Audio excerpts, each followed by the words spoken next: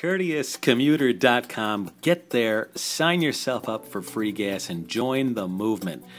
Well, hey, here's one situation we have all been in double yellow lines, and this hay truck is going just about as fast as the speed of smell. Well, thank you, comedian Ron White, for that one.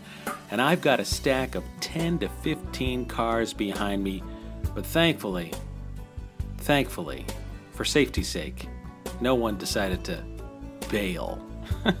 Awful. Sorry about that. Hey, let's keep it safe out there. Nice and patient. Guy's going to make the turn. Everybody's safe. See you on courteouscommuter.com. Sign yourself up for that free gas.